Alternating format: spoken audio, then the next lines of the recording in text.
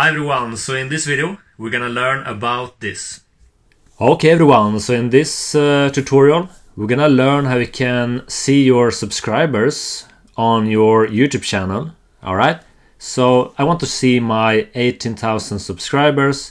So to do this, we're gonna go up to the top right corner, click on your profile image, go down to this one, YouTube Studio.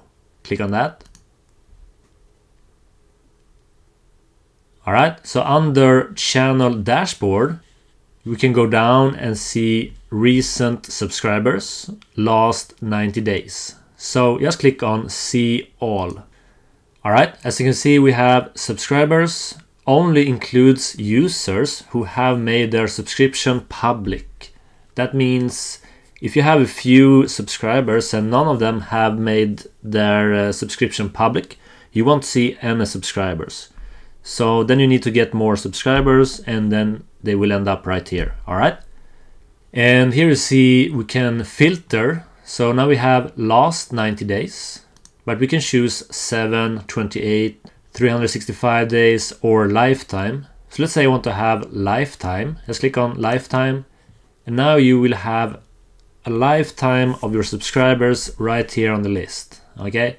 So here we see the channels that subscribe to your channel and we see date subscribed.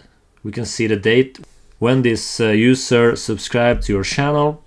We can click on this date subscribed and we can see the latest subscription and if you click one more time we can see your first subscriber okay so in my case I have January 20 2015 okay we can also see your subscribers subscriber count. So in this case, my first subscriber has zero subscribers. And you can also click on subscriber count to see your biggest subscriber. So my biggest subscriber has 526,000 subscribers. And you can click on it one more time and you will get the ones with zero.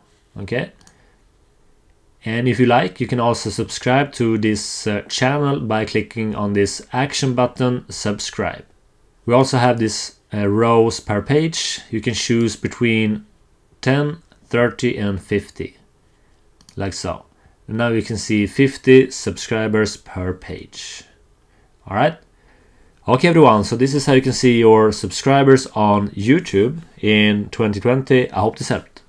Okay everyone, so I hope this video helped you out. If you like this one, you can give thumbs up, you can leave a comment below, and also check out my latest video right here. So I hope you have an awesome day, take care, and bye.